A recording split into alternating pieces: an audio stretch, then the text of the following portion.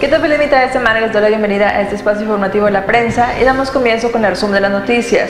La Conferencia Nacional de Gobernadores y el presidente Andrés Manuel López Obrador acordaron que los delegados en los estados no serán secretarios técnicos en seguridad pública. El acuerdo alcanzado incluye que la facultad de nombrar a los secretarios técnicos recaerá en el secretario de Seguridad del Gabinete Presidencial, Alfonso Durazo.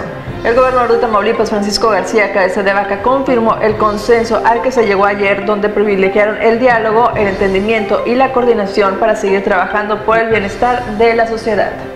Y en más información, la Secretaría de Desarrollo Económico de Tamaulipas estimó que el próximo año se reabran unos 30 casinos en el estado, para así evitar la fuga de turistas y la derrama económica hacia Monterrey, luego de que el Congreso local derogó prohibirlos en la entidad.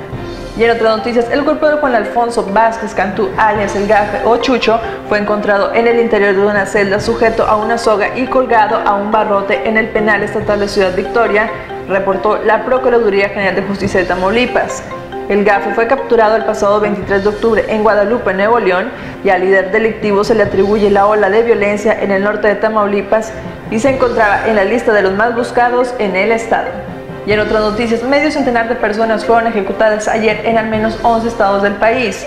Tan solo en Guanajuato se reportaron 24 homicidios en 8 municipios, al parecer vinculados a la disputa por el robo de combustible entre grupos criminales.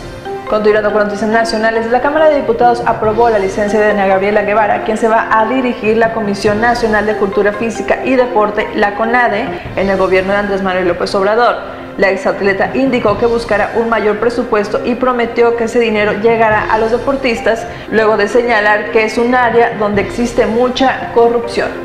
Eso es todo por el día de hoy. Los invitamos a que se mantengan informados a través de la prensa.mx, así como en nuestras redes sociales. Nos vemos el día de mañana.